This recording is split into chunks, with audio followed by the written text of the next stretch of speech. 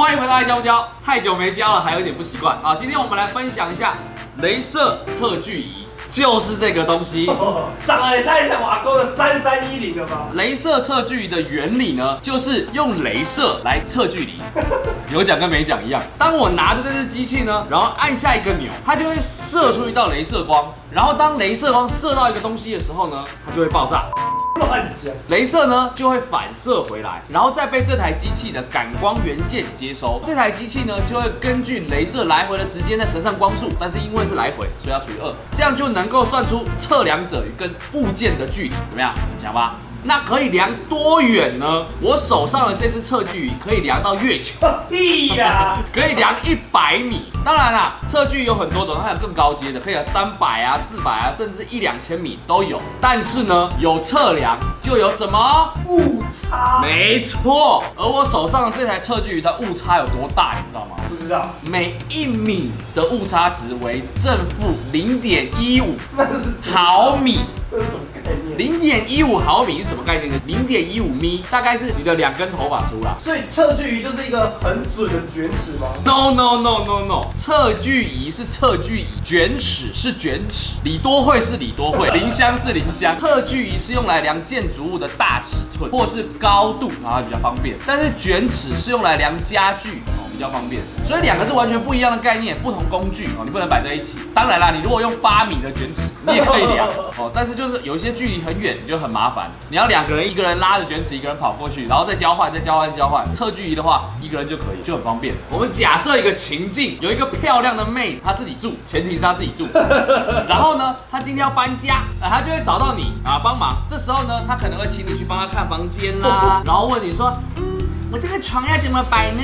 可这个柜子可以怎么放呢？这时候你如果带一支卷尺去，就显得有点弱，有没有？有点道理。有一种施工师傅的感觉，好不好？你可能还要请他帮你拉卷尺，哎，你帮我拉一下，拉完之后还要拿纸笔出来记录哦，然后你还要跟他一起算算数这种互动啊也还不错啊，啊。互动是有了啦，但是就是不够帅，你知道吗？这时候你如果带的是一支镭射测距仪，那就不一样哦。你想想看哦，那个妹子说，嗯，你知道我房间有多大吗？你就这样子，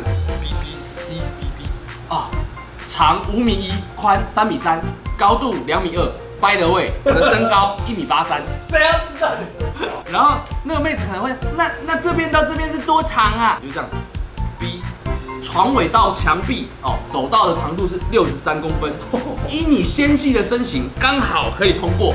By the way，我三十公分，有没有？整个幽默又很厉害，又很精准。你会搞？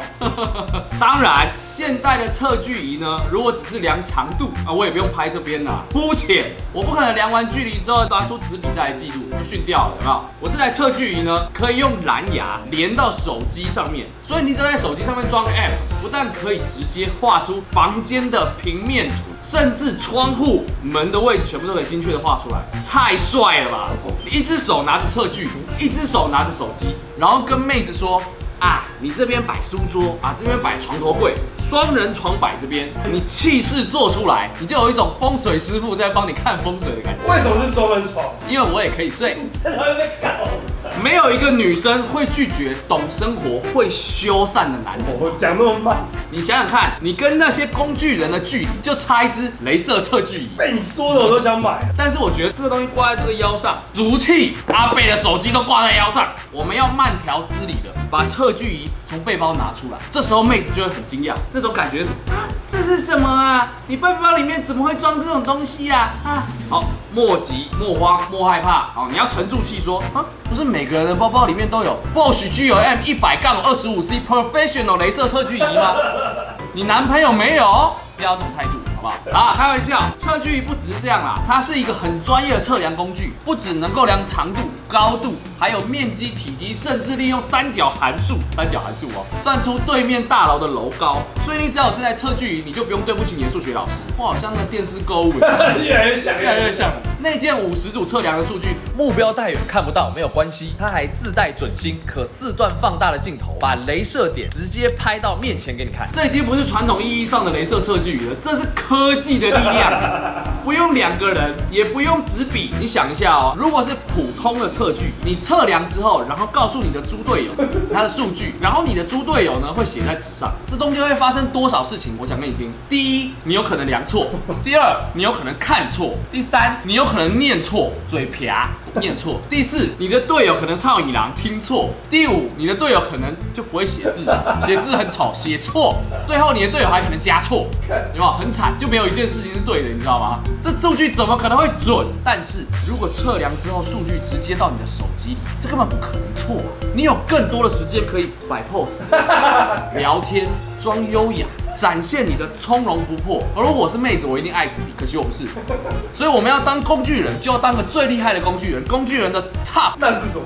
还是工具人？对，抬头挺胸的工具人，好不好？然后呢，还会使用镭射测距仪，顺便呢还要跟妹子科普一下镭射测距仪是什么，她一定会很崇拜。我相信经过这次你的帮忙，那个妹子下次搬家还是会找你。这里是黑手小红啦，爱教不教呢？我们下部影片见啦，拜拜。